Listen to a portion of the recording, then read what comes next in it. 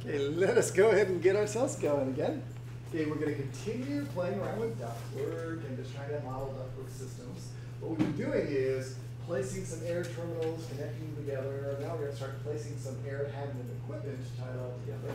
But the same basic principles apply. And really, the things to watch out for as we've been oh, kind of talking to different people over the break that are really the ones that sort of get people in trouble more than anything is, oh, different sort of connections where especially if, for example, there is a reducer. Let me kind of show you an example of a classic problem that we typically have.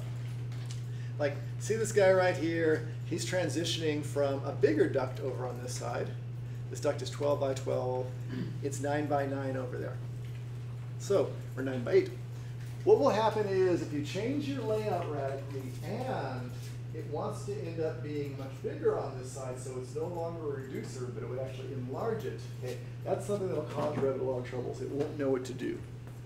So if on the other hand, as opposed to being 8 by 8, it's actually changed to be like 15 inches. Actually, this time it actually responded pretty smartly. I'm sort of surprised about that. Often what will happen is Revit will come back and complain and say, oh, you know, some element that you put in there is now inside out you know, and it needs to flip the direction of it. So in that case, what's generally best to do is just go through and just get rid of the offending piece. I can't try reconnecting them.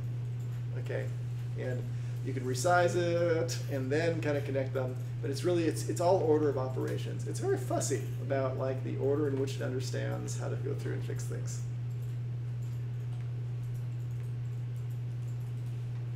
I put that back into here, it'll put the right type of reducer in there. Notice as I drag these things around, there's a couple representations for the duct. So just pay attention to that for a second. Notice there's this green line representation. That's actually the center line of the duct.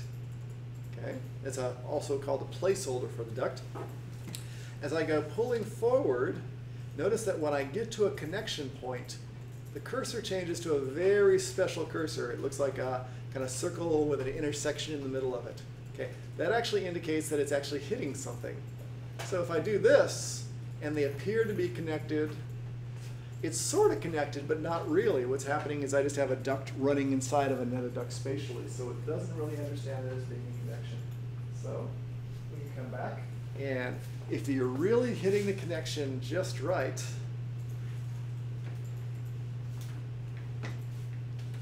it'll join in. Now some other little nuance about ducts, just so you sort of know in these transition pieces, is it tries to do a pretty good job making these transition pieces. That's a little T piece right now. See if I can find it. That's a little reducer of some type. If I'm going to go through and pull in another duct, and we'll start with a new file in just a moment here, but let's just go and finish this one out. If I pull in another duct, and I pull it right here, okay, things tend to be okay. That actually sort of worked. If I pull it right here, okay, this may cause a little bit of trouble. Can you see why? Just as it physically tries to put the new piece in, it might conflict with the old piece. So it'll probably give me some sort of complaint about routing. Okay, not enough room to put in the required fittings. Okay, so you have to watch out for that. When you try to put things in, if they're just a little bit off, it's as good as being way off because it just doesn't know what to do. It can't substitute a piece in there. So I'll cancel that. What you can do though is if you want to go through and put something in, for example, if I want to put a piece of another piece of ductwork running this way, and I knew that it was really just perfectly aligned with this piece, what you can do is take any of those little transitions. Let me take that transition right here, select it, and notice it sort of tells me a little about the connections on it right now. It's a 12 by 12 on each side, it's 8 by 12 on this side. It's got a little plus sign there. What that plus sign does is it lets you take a T and make it into a quad. It lets you make it four-way. So if you have a piece of a connection and you want to sort of either increase or decrease, you can plus, and it basically put another connector on it. It swapped a three-way for a four-way. So now, as you go through and you put the ducts in here,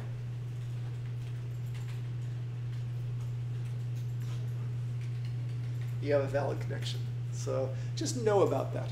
That also comes in often when we do piping and stuff like that. You put a lot of things in there. If you want a two-way to become a three-way, or a three-way to become a four-way, you have to kind of watch out for that little plus sign.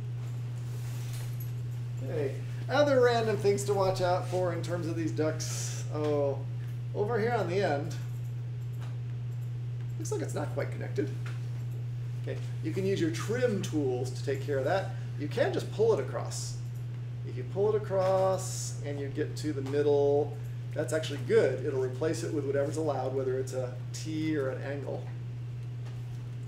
or a LO transition. Okay? But another way to do that that I tend to use an awful lot is I'll just trim things. So I'll modify and just trim the center line of this one to the center line of that one.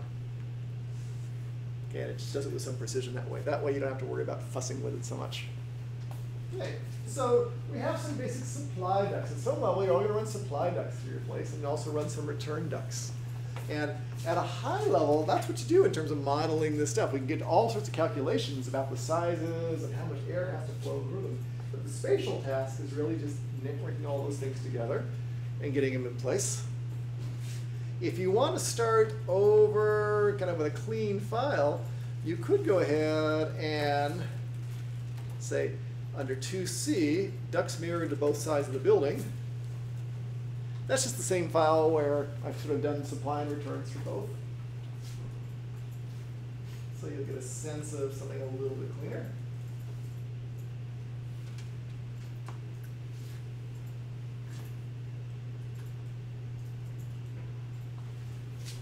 See what this one looks like.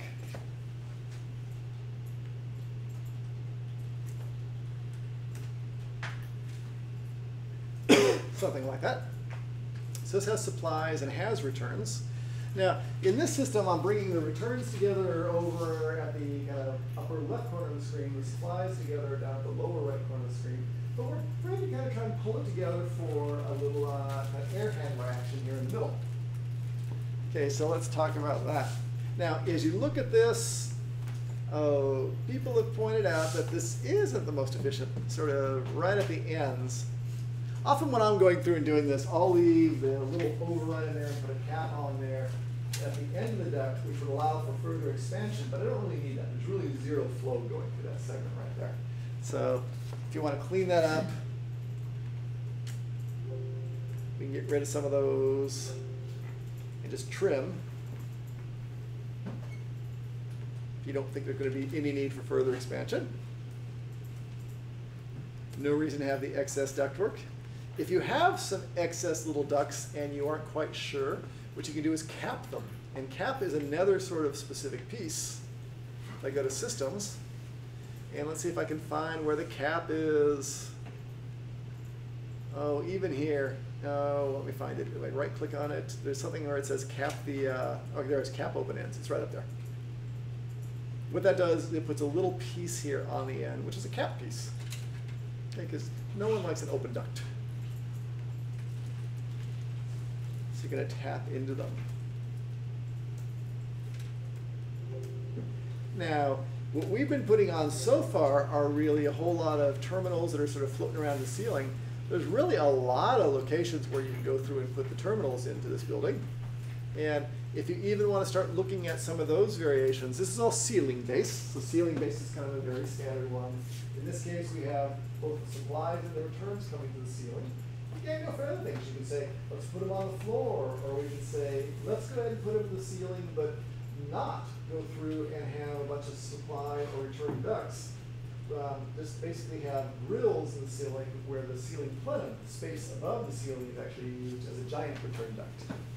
Okay, and a lot of the buildings we've been looking at are modeled that way. So if you were interested in a space more like that, it's actually a pretty straightforward thing to do. What I'll do is I'll just take out that return. I can take out the little transition. So picture this as now one of those return terminals just mounted on the ceiling, but above it is just all the open space in the ceiling. Okay, And then back over here, we'll just basically have an open duct that'll pull air in from the open space above the ceiling. So that's called a plenum system. And a lot of older buildings are done that way. It was sort of a very cheap way. It saved a lot of ductwork to do it that way. Okay, so that actually kind of worked out okay. The disad of doing it this way is that since basically all the air is running around over the ceiling, any heat that's up in that ceiling is actually being captured in the return air. So you're actually getting warmer air than you need to because the air up in the ceiling often has the heat of the light fixtures, the heat of any mechanical equipment in there, pulls a lot of dust in. There's all sorts of things about doing that. Another thing that's kind of strange about these sort of systems is if you're in an older building that has this kind of a system where there's just terminals, if someone's having an incredibly confidential conversation in the room next door, if you just stand over here by the water cooler, you might actually be able to hear what's going on in the room next door because there's really not a firm separation between the two. It's just air moving past. So, yeah, that kind of system, it's a little less favored. We used to do it, but these days, since we're like nice, tight, efficient buildings where you can predict everything, that's considered a little bit less desirable. If you were thinking about, oh, that restaurant scenario, sort of like what I had uh, in those pictures, what they have is pretty much no return ducts. They just have all this kind of up against a wall. And what we'll do, let me even take this out for you.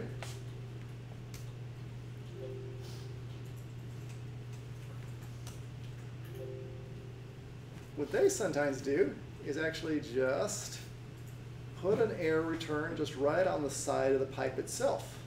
Let's take a look at that.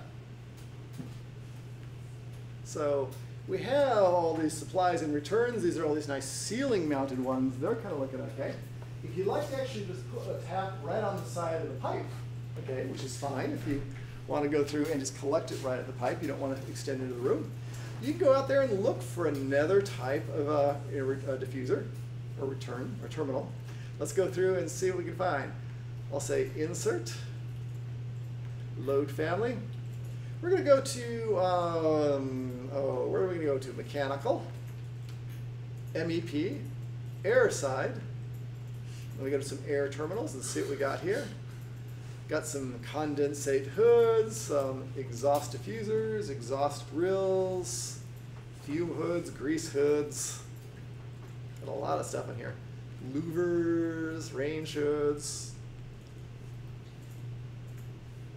Here's a return diffuser with plenum linear slot hosted. That might be similar to the ones we saw on the ceiling, those linear ones. Got some supply diffusers. There's supply diffuser sidewall. That's actually pretty close to what I want. Let me see if I can find a return diffuser. Hosted. Yeah, return diffuser. Grill hosted. Ceiling mounted floor hosted. Let me try this one, rectangular hosted, see how that looks. If I want to place a terminal and put it right on a piece of ductwork, here's what I can do. Go to Systems. Say, let's go through the air terminals. Okay. I have this choice of basically placing on face or placing on a work plane. See if I can get this to sort of stick. That doesn't look quite right. Let me go through and look at it in the floor plan view.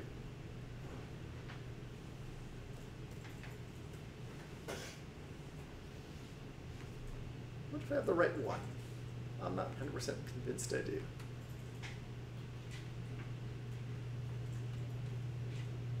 Place on face, place on work plane, place on vertical face. Gonna work there? Looks like it's trying. Let me see. Nope. None are visible in that view. Let me go back to the 3D again.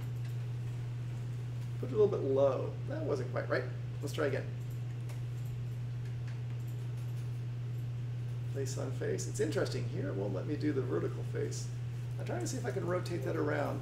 There's one, there's a very specific setting. I'll see if I can get it to pop up where it's really that you actually put it right on the face of the duct. And it may not be that I have the right one loaded. So let me go back and see if I can find another one.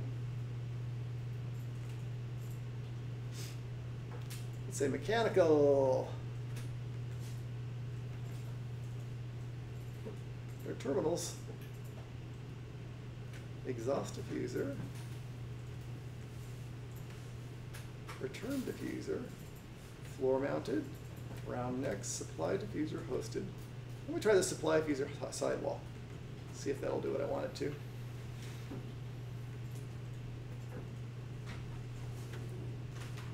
Systems, air terminals. Ah. Now, this is actually understood as having air terminal on duct. Okay, so this would allow me to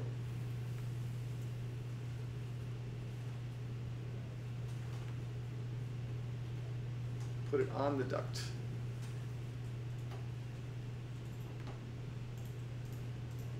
It'll cut it right in there. Okay, so a lot of variations on this. We just got to find the right terminal for your uh, situation.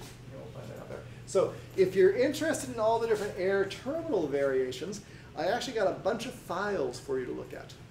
If you go out and under session 13, go to air supply and return variations, examples five through six. I got some supply and return variations at the ceiling. I got some supply diffusers at the ceiling. I got some supply and return variations at the floor and wall. There's just all sorts of different stuff in here. So you can go ahead and take a look at these, and it just sort of illustrates different ways of doing it and how you would model those things in Revit.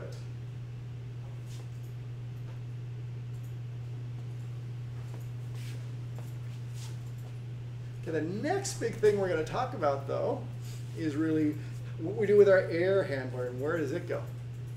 And you'll find that in a lot of buildings, a very common strategy is we put that air handler up on the roof. And here's an example of an air handler sort of sitting up on the roof. You notice that that air handler has two different things coming down. We have supply coming out one end, we have return coming back in this other end. We have this other thing which is going to take in some fresh air and sort of mix the fresh air with the return air and kind of change the balance. You notice this air handler is really a whole bunch of different chambers, and typically it goes through some sort of mixing chamber where we bring the uh, recycled air and the fresh air together. You might have some filtration, you might have a heating chamber, and then a chilling chamber, or a dehumidification chamber, then finally you get out to the conditioned air that's coming out the backside of it. So we have these things, and often we put them up on roofs. Sometimes we put them on the ground outside the building. Sometimes we put them underground, down in a vault or in some place, so that they're not uh, kind of compromising your architectural uh, statement. So you want to often hide them away in different places. The important thing though is they're big pieces of unit, they rumble or they have a big fan that's kind of constantly moving in there, they take a lot of power. So even they have a lot of heat that needs to be dissipated. Okay, so be careful about where you put them. You can't even put them inside the mechanical room of your building as long as your mechanical room has some louvers that allow it to get some fresh air in. Because you always need some sort of a duct, some sort of connection between the air handler and the outside so you can exhaust out any air you want to get rid of and bring in the fresh air to mix it together. Okay, so there's a lot of ways of doing that. And if you want to start looking at air handler variations, just as a preview, you can go to its examples, what is it? Four, we have air handlers in a mechanical room, we have air handlers on an exterior wall, air handlers outside, somewhere down in the basement, in an exterior pit. We have all sorts of different variations. So let me show you the one where air handler is in the mechanical room.